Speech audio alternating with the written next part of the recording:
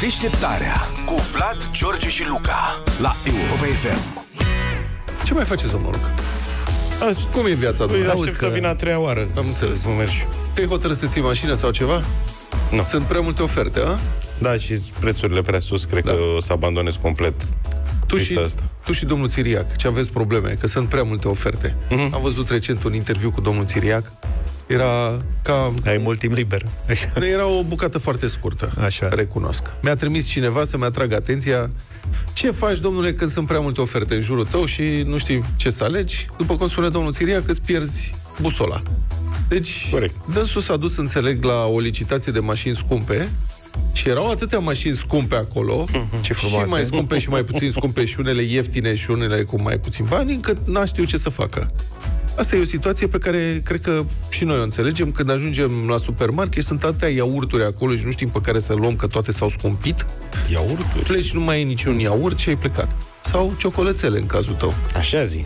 Dă-l pe domnul Țiriac, te rog. Romezelul, Am dar nu iaurt. uh, anumite uh, momente în care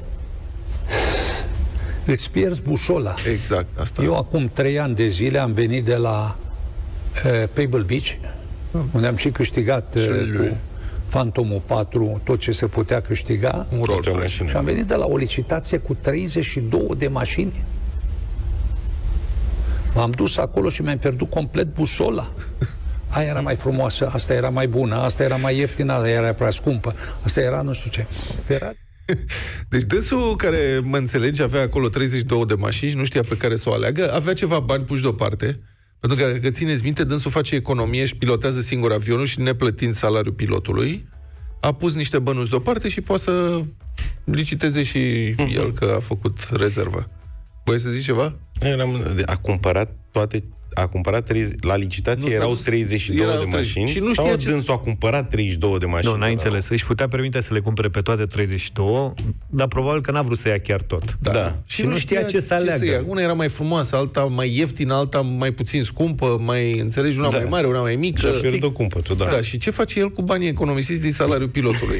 Adică s-a dus cu avionul până acolo, pilotând singur, vorba aia, are niște bani, nu, nu-i sparge, adică te duci în vacanță, te duci la licitație de mașină, mă, nu spargi banii, dar și-a pierdut busola și nu știa ce să cumpere. Și nu este prima dată când îi se întâmplă lucruri ciudate. Adică, de exemplu, cazul următor este senzațional. Ferrariul ăsta care îl vezi dumneata aici, F40 ăsta, eu am avut unul din primele, mi l-au dat și pe vremea aia încă Ferrari. Și am mai cumpărat încă unul Încă domnul Ferrari. imediat, pentru că bănuiam eu că o să sară prețurile și așa mai departe. De fapt l-a luat pentru piese. Al O doilea. să crezi că le-am uitat 10 ani de zile într-un garaj la München? Atâta treabă am avut și eu mi-am făcut totdeauna treaba. Până mi-a spus omul ce domnul Țiriac, ce? Zic, auleo, M-am supărat, așa supărat am fost că le-am văzut într-o singură zi cu jumătate de preț. Numai să le dau drumul. Că trebuiau, bineînțeles, după 10 ani demontat complet motorul, făcut motor, adică e, era kilometri zero. A adus la un El a, prieten i-a la făcut serviciu. segmentare, cum era pe vremuri. la Ferrari. Dar eu îl Pentru că înțeleg seg- aici. că- Segmentarea este la... Dacă mergi. Dacă nu mergi, se mai strică garniturile trei. Dar tu n-ai cumva, nu te, n-ai uitat vreo măzduca gri Tu lila parcată undeva, da. parcată undeva, da. Nu, dar am uitat și îl înțeleg că dânsul are și o vârstă și mai multă treabă, un pic decât Că mine. asta a uitat când era mai tânăr. Asta zic. Și avea mai multă treabă. Și în prezent are mai multă treabă decât mine. Dar și eu am uitat, eu am la cântar niște baterii CRV, nu știu cum, Baterii. care vin în blister de două bucăți. Cere 20 Cântarul 30 de baie, zic. Nu știu, că au să mai multe cu Îți aduc eu. Și eu am cumpărat blister de la Și ai uitat acum unde 2 l-ai ani. pus. Nu. Și acum când mi s-a terminat bateria la cântar, am uitat complet de la și am cumpărat altul. Extraordinar. Și după ce am pus bateria, când m-am dus să o pun pe aia la altă, că am locul meu, că știți că s-a ordonat, Da. am găsit bateria aia la altă. Și te-ai supărat cum și ai am vândut găsit. și cântarul și imediat. am vândut toate bateriile. Auzi?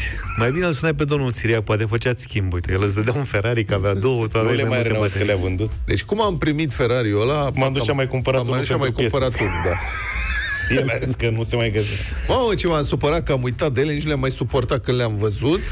Că dă la jumătate de Mamă, preț, mă. Ia, ia-le, ia-le, mă, ia-le, că pe astea două le mai am. Bă, dar Ia-le- n-am- ia-le să plec și eu acasă. Da, una, buy one, get one free. Da. Deșteptarea cu Vlad, George și Luca la Europa FM.